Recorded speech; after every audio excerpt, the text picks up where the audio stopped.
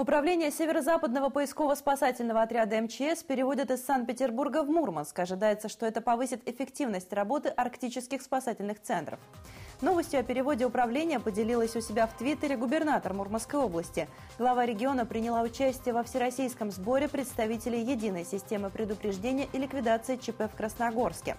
Напомним, в октябре прошлого года открытие арктического аварийно-спасательного отряда в Мурманске посетил министр МЧС России. А недавно Владимир Пучков заявил о переводе органов управления поисково-спасательного отряда МЧС из Петербурга в Мурманск.